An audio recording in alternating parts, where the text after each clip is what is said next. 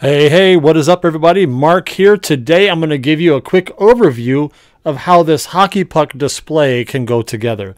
Now, right before I show you all the parts, I want to emphasize two things.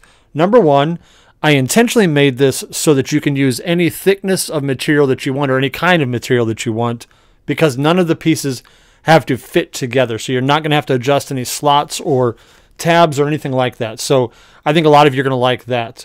And uh, the second thing is that depending on what thickness of material you choose to use, you may need to use more of some of these spacers than I'm going to have in this example. So let me just jump into it and you'll know what I mean. So here's all the pieces that you're going to cut out, including, uh, let's just go over the pieces. There's quite a few of these little things I call spacers that you're going to cut. And uh, there's these small, uh, slightly rounded ones here and then there's also three of these rectangles right here. So let me show you how this goes together. This is the back piece here, and it's you know it's the back because it has the holes in it that are going to eventually probably be screwed to a wall if you're going to mount it to a wall, uh, or or just hang it on some nails if or screws if you want, or you can also just display it on a table. But this is the back piece, the front piece, and um, it's going to end up being just like this when we're all done. And then I've got these two pieces I'm going to refer to as support pieces.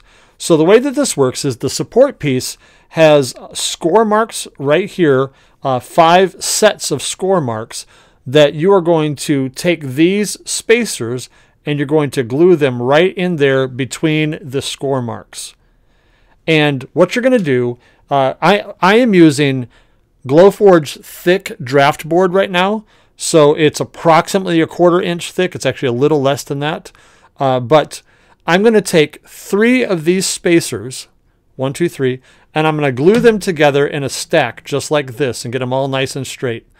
Glue those together. I'm going to glue five different stacks of three together.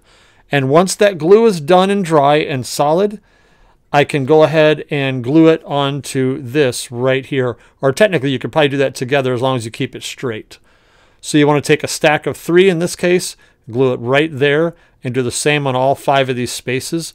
And again, if you're using a different uh, thickness of material, you may have to do four of these because your goal is, of course, to make it wide enough to uh, be one inch wide so that it can hold up this uh, hockey puck, the standard sized uh, one inch wide hockey puck.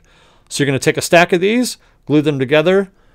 You're going to glue them right there uh, between those score lines do five stacks of them, and then you're going to take this and you're going to align it right there along that score line. You see that one right there? That's to help you know where this goes. So then you're going to glue it there with your five stacks on there. You're going to take this other one, do the same thing, glue this uh, support piece right here, um, right along the score line. And when that's dried, then you, when both of these are dried, then you are ready to then glue this together with that. And of course, once they're dry, it'll be a lot easier to be able to line those up. You actually could, once they're dry, just do this one and then do the, the top one like that. Oh, I forgot to mention these, forgive me. These uh, rectangles here do the same thing. You're going to go ahead and glue them together in a stack like that. And then you're going to glue it right there so that you've got a nice set of uh, spacers that will hold this all together. Get a nice and good amount of glue there. And then that's going to go just like this on top of everything. I've also got a JPEG included in the file that also color codes all these and shows you again in a, visual way how these all go together. But I think you're going to find this easy to put together. Just be patient with the glue. And once you're done, you'll be able to uh, display up to five hockey pucks um, at your convenience. I think it would look great if you would paint this uh, a nice bright color, a red or, or whatever color you want to, because it'll really contrast well with the hockey pucks. And if you really want to be creative, it'd be great if you'd wrap the uh, blade with some tape, just like a real hockey uh, stick would have. You could even wrap some up here around the handle. That would give it a lot of personality. Uh, feel free to engrave uh, some logos here, or a team logo, a stick logo, uh, congratulations to a team, whatever you want to do, but just really have a good time customizing this. I would love to see what you guys do, but I think you'll find it easy to put together and it will look great. So thanks for watching. Let me know what you guys create, and I'll see you in the next one.